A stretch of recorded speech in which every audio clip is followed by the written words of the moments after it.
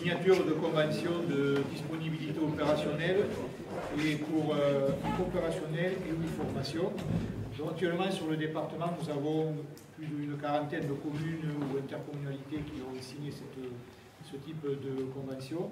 En fait, ça permet de libérer, euh, l'employeur s'engage, lorsqu'il le peut bien sûr, à libérer le, le salarié, sapeur-pompier volontaire, pour qu'il puisse partir euh, en intervention sur sa commune, sur son secteur d'intervention ou éventuellement en renfort sur euh, d'autres secteurs. Voilà, donc euh, ça rentre, si vous voulez, cette petite manifestation. D'abord, je voudrais excuser le président Viola et le remercier de nous avoir permis de faire cette manifestation dans ce cadre-là, parce que je crois qu'il était bon pour, bien sûr, les pompiers, mais aussi pour les élus locaux, de voir que le département est un acteur essentiel de la sécurité, incendie et secours de l'homme.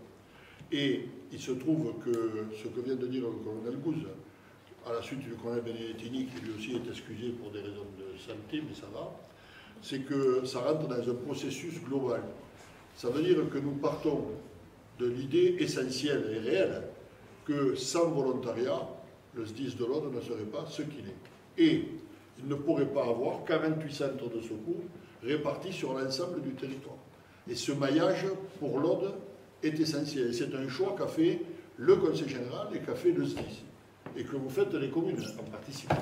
Alors, il y a le volontariat, 1800 sapeurs-pompiers volontaires, 180 sapeurs-pompiers professionnels qui travaillent étroitement en relation les uns avec les autres. Euh, je dis que c'est une action qui va des jeunes vers les moins jeunes, et puis on nous dit qu'il faut dans les IS un bureau volontariat. Moi, j'ai toujours dit, le bureau volontariat, il n'y en a pas dans le 10 de l'ordre. Pourquoi? Parce que tous ceux qui sont ici, et je remercie euh, Madame la Présidente de l'Union départementale d'être là, parce que tous ensemble, de tous les services, nous sommes motivés et concernés par le volontariat. Et à la suite des propositions que nous a fait l'Union il, y a quelques mois, et pour l'année 2014 et 2015, nous avons accordé 12 000 euros supplémentaires à l'Union pour que pendant euh, un an, elle fasse des efforts significatifs pour euh, le volontariat. Gâteau.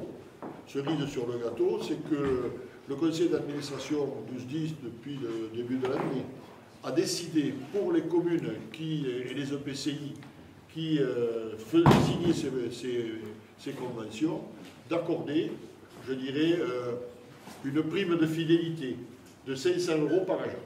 Ça veut dire... à participer ces signatures de convention. Euh, nouveau mandat, notre complémentarité SDIS Union ne cesse, de s'accroître. J'en veux pour preuve la subvention supplémentaire de 12 000 euros. Euh, des flyers et des affiches ont été euh, imprimées, sont prêtes à être distribuées, ciblées sur les jeunes,